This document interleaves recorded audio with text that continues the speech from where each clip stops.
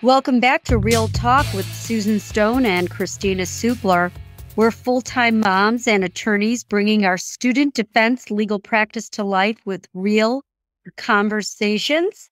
Today's topic is really going to be a very emotional topic today. It's, we're here to talk about the fentanyl problem that is really impacting the health, welfare, and lives of students across the country, students and adults, but our practice focuses on what's happening with all students.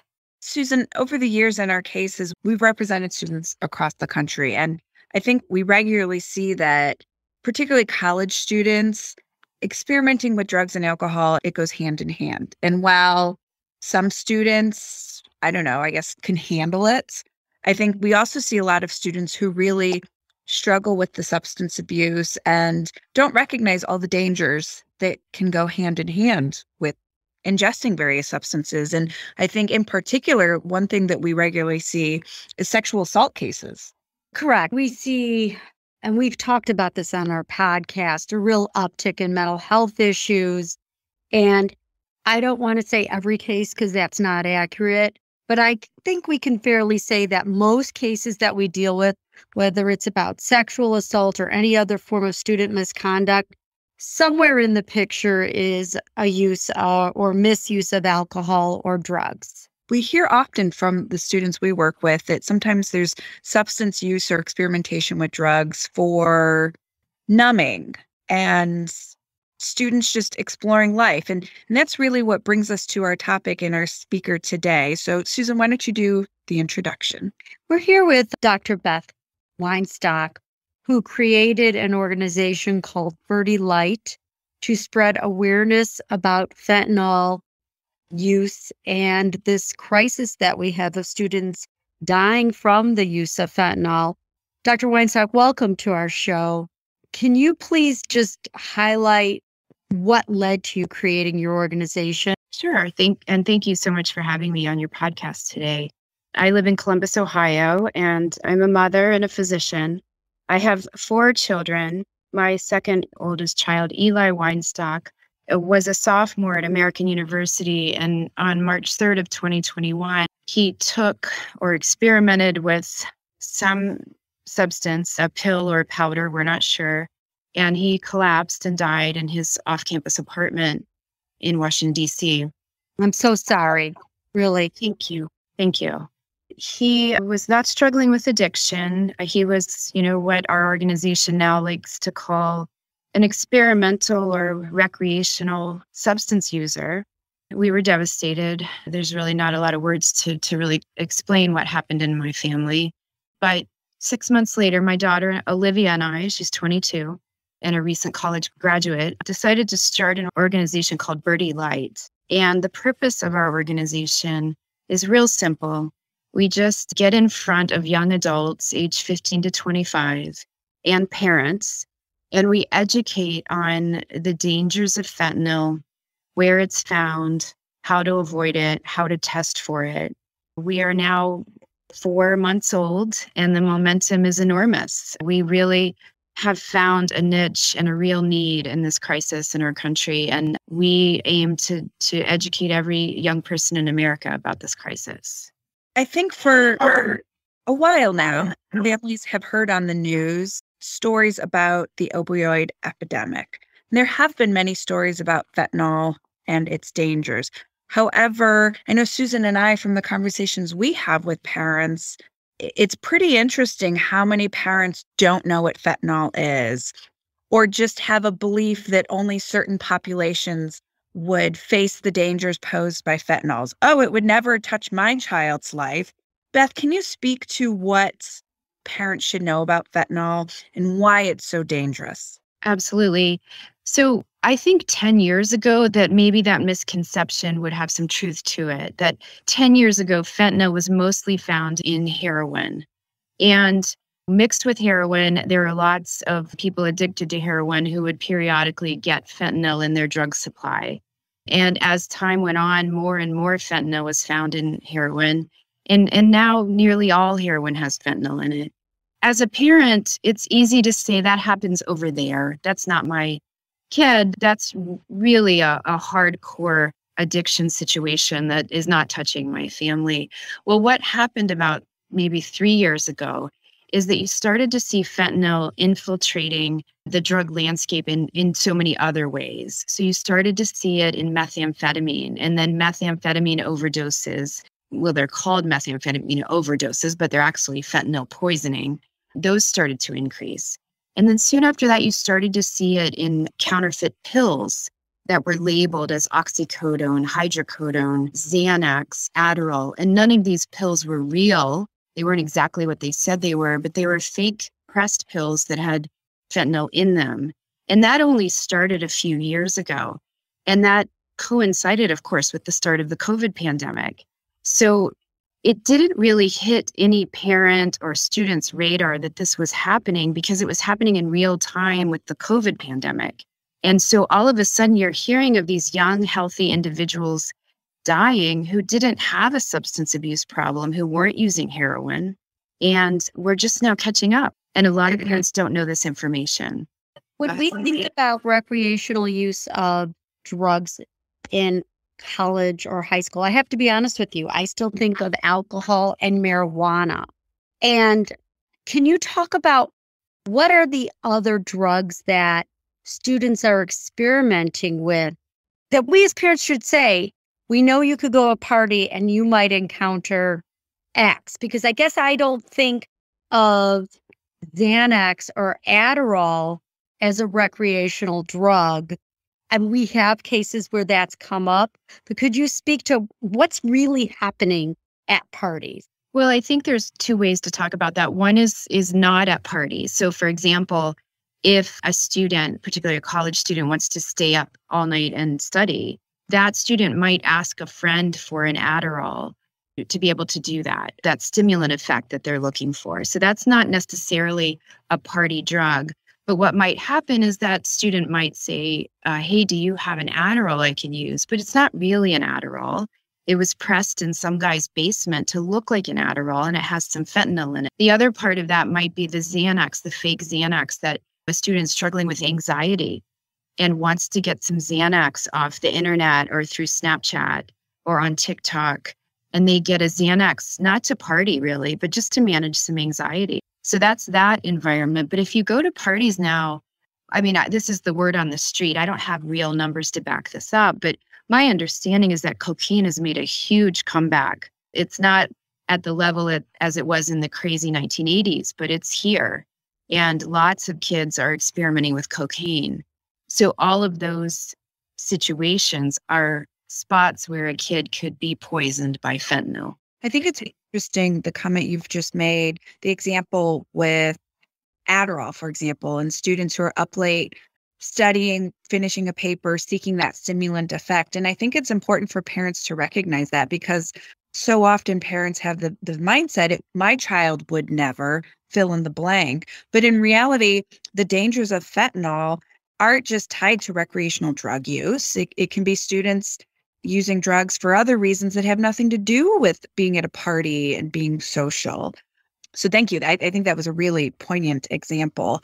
Tell us, if you could please, a little bit. Uh, from what I understand about Birdie Lights, the goal of the organization is harm reduction and helping keep young adults safe. And so tell us more about what Birdie Light does to get closer to safe. Yeah, and thank you for using that phrase. We like to repeat it many times closer to safe because we know that inherent in the act of taking a pill or using cocaine, you're never 100% safe.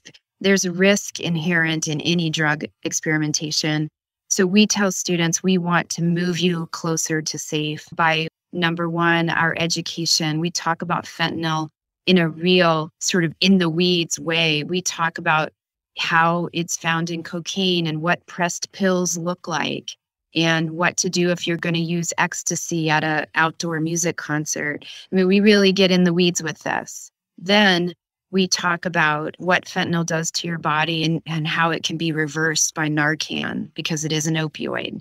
It's a synthetic opioid, but it's still an opioid.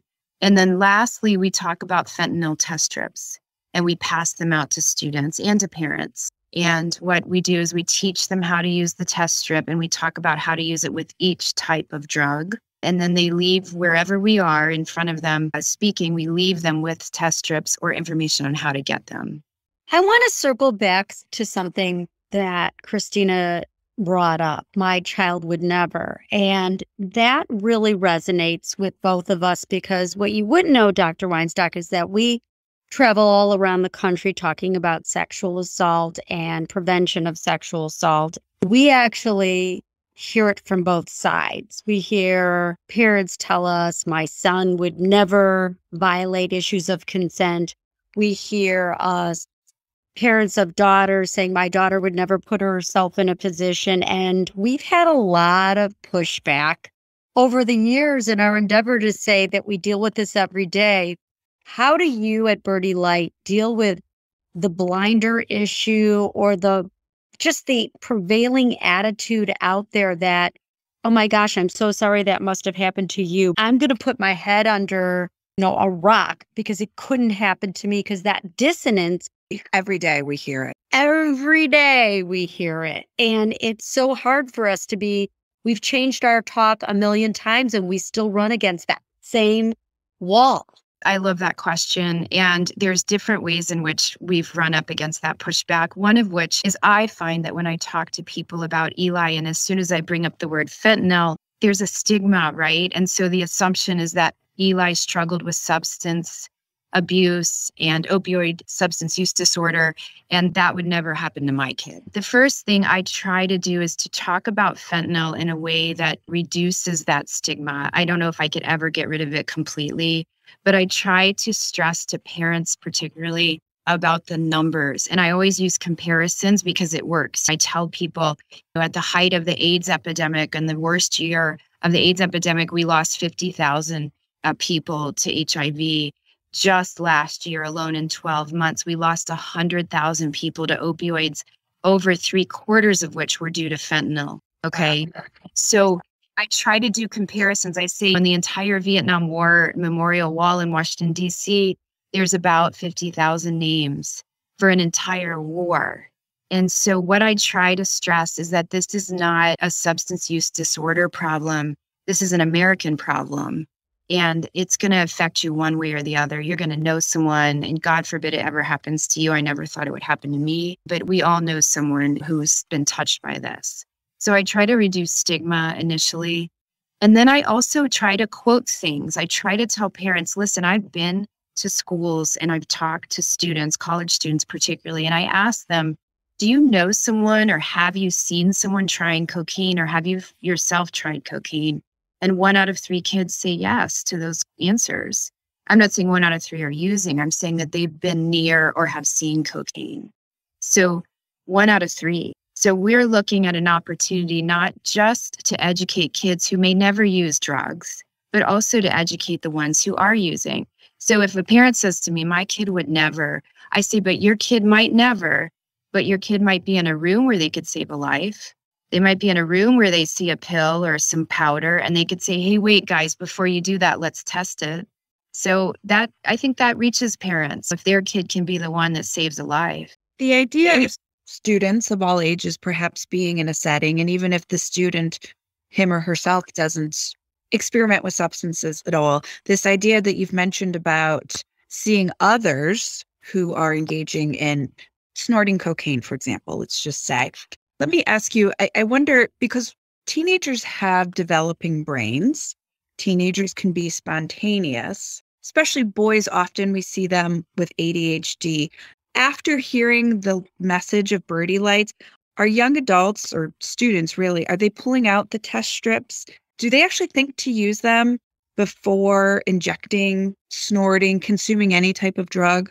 Well, that data on the ground is hard to gather and, and us being relatively new we don't have large numbers just yet we have anecdotal reports we do know that four girls who were about to use ecstasy at a, a music concert did use our strips and found fentanyl and threw their drugs away. I do know that some boys that live on campus at OSU called me and said, Can you bring us some strips because we're going to do Coke? And I brought it to them. I do know that we do surveys to every group we speak to, and the students always say, as they're leaving, we do our anonymous survey and say that they plan to change their behavior based on what we've told them.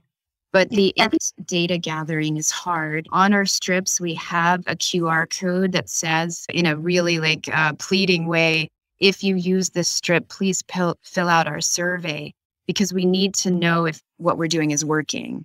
And that data is real small. It's rare that a college student would stop and fill out a survey as they're about to test or use drugs. But over time, we hope to gather more and more data in the moment. You know, just anecdotally, I can only speak to the students we've spoken to. And the truth is, they're scared. They know that this landscape is, is a minefield and they're scared and they want our strips, they want our education. Are we going to reach everyone and have them change their behavior? Probably not. But piecemeal, we hope to go one by one, save as many lives as we can. Have you received any pushback? I'm thinking about your story about someone from OSU calling you, asking for a strip because they're doing cocaine, saying that rather than giving them the strip, you should have said, don't do the cocaine. I haven't received pushback in that scenario because I'm dealing one on one with the young adults, but I've received a little pushback from high schools and high school administration in the sense of asking me, how do we tell kids just say no to drugs at the same time we're telling them how to test their drugs? My only answer really is that the numbers don't lie. You know, data doesn't lie. And if this many kids between the age of 15 and 24 are dying, then our message isn't working our message of just say no to drugs is not working. There are lives being lost. And I try to point out to administrators that I can tell young adults not to use drugs because of the inherent risk. And I can tell them Eli's story. I, ha- I had the biggest risk, the biggest loss. And I can say, this is what happened. My son also received the message for years of just say no to drugs. So the numbers don't lie. And I know that's one of the, the fears of high schools that we're sort of giving a mixed message. But I think it's okay to give both of those messages in parallel. We work a lot in parallel because our practice primarily focuses on sex issues. What are you going to do? Tell kids not to have sex in college? And Kristina, how many times do we deal with kids who are high and having intercourse and or drunk and then saying they were incapacitated. Uh, yeah, I think that's actually a very good analogy, Susan, that might hit some of our listeners as frankly bizarre. But I think the reality is with substance abuse or sexual activity, we have good feedback from our practical experiences in our cases. Beth, as you point out, look at the data and the numbers on fentanyl. Don't do it. That strict prohibitive message just doesn't seem to be working. And so the question is what is the message that we should be advancing to our kids to help keep them safer? And I suspect many of our p- parents and listeners might really say, wait a minute, this birdie light, is it in fact promoting drug use?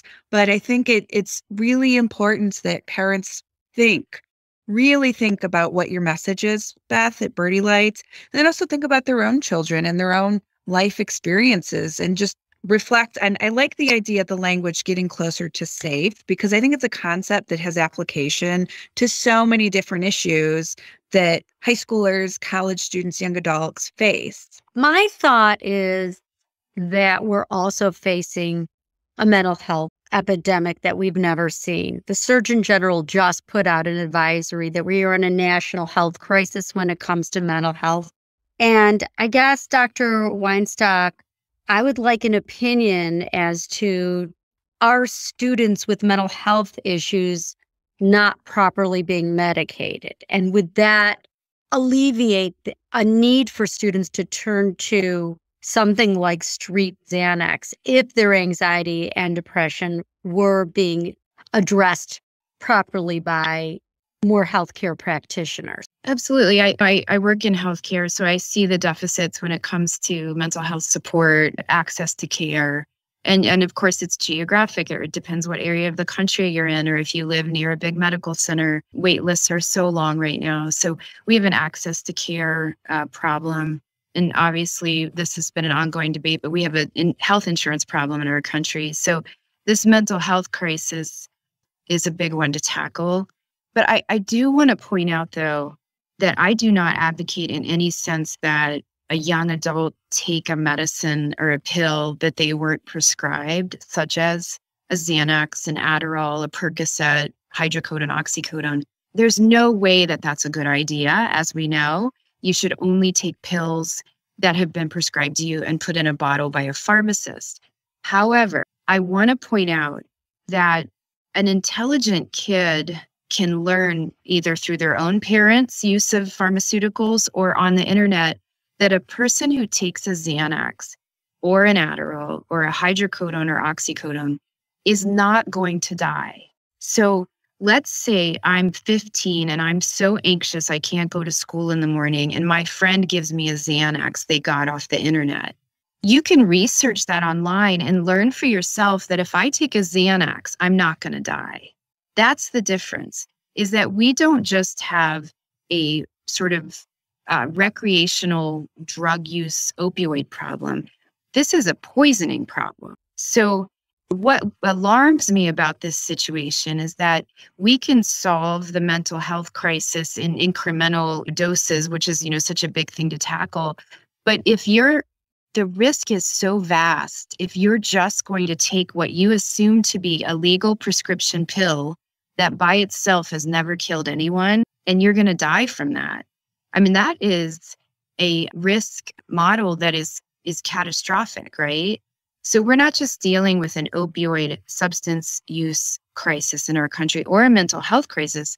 We're dealing with a poisoning crisis. That's the alarming thing.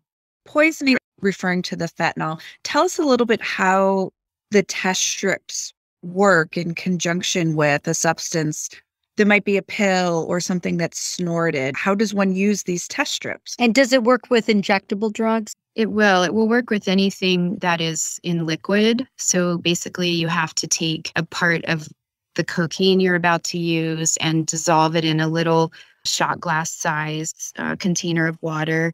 And you can dissolve it and test it. There's very specific instructions for example, if you have a bag of cocaine, you should test it multiple times before you use it because the fentanyl can be distributed in different parts of the bag. If you're about to take a pill, you can dissolve the pill in that water and test it with the strip. And then you actually drink the the water, you know, because it's a pill, it's going to hit your stomach soon anyways. So it's okay to drink it. That way you test the whole pill and not just a segment of it. And then you can also for example, if you're cooking injectable drugs, you can take some residue off the cooker and put some water on it and test that. So there's very different instructions for each drug. And when I speak to students, I go into those specifics. For example, I haven't gotten in front of a big high school system yet, and there's some pushback there on discussion of the test strips in detail. So perhaps for a high school audience, I wouldn't get into details on how to test your cooker, the residue on your cooker. There you have to know your audience. So I tailor what I speak to regarding what group I'm in front of. Right now I mostly speak to high school students in small private groups rather than in front of a big auditorium.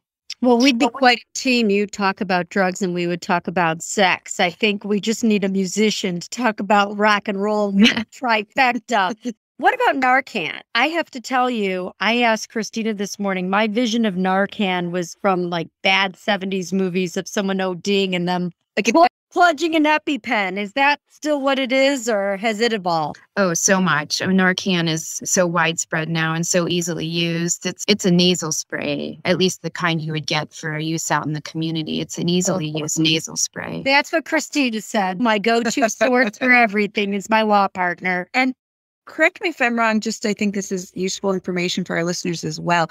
Most communities have public health departments where one can obtain Narcan for free, correct? Or is that something that only you don't have to be an EMS worker or law enforcement to have Narcan, right? No, no, you can get it in, in any pharmacy without a prescription. It's a great act of citizenry to carry Narcan with you. And a lot of college students do that. They pass out Narcan on college campuses. And you'll talk to some students who say, Well, I carry Narcan. I don't use any substances, but I carry it with me just in case. It's really a life saving tool. And if you're going to be at a party where people are using drugs, I would talk to all of your kids, have Narcan, know where it is. And one of our goals with Birdie Light is to make Narcan and fentanyl test strips so commonplace that it just seems like it's the first aid kit in the hallway closet.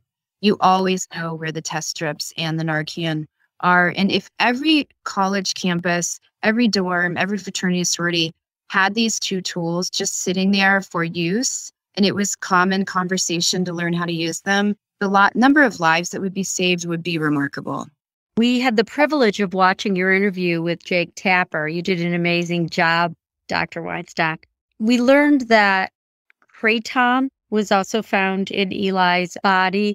I did, I had confess I didn't know what that was. Can you discuss that? Because my understanding when I did a little bit of research is that it's a, a legal substance. It is, yeah. Kratom is an herbal supplement that's legal, and Eli had two substances in his system. One was kratom, and one was fentanyl. I don't know any more than that. So, for example, I try not to get too sidetracked on the kratom issue because the number of people that die from kratom ingestion and fentanyl is minuscule. And so, really focusing on that would take a lot of attention away from the vaster crisis, which really has not a lot to do with fentanyl. But either Eli took some kratom that someone along the way had laced with fentanyl, or Eli was given a pill that he thought was something else, either a Xanax or whatever he thought it was. And instead of having those ingredients in it, it had kratom and fentanyl in it but he, with his pathology, only had two substances in his body, kratom and fentanyl, but we just don't know the vehicle as to how he ingested it. Well, that was my thought. Are, are people putting fentanyl in vitamins or something else? That I was actually just thinking as I was listening. I think we, we represent a lot of college athletes, and at various times we've had students who have hit different bumps in the road with, with student disciplinary proceedings because of essentially bodybuilding drugs and stuff that has been ordered off the internet from overseas. And they think they're getting one thing, but it's a powder and who knows what's in it.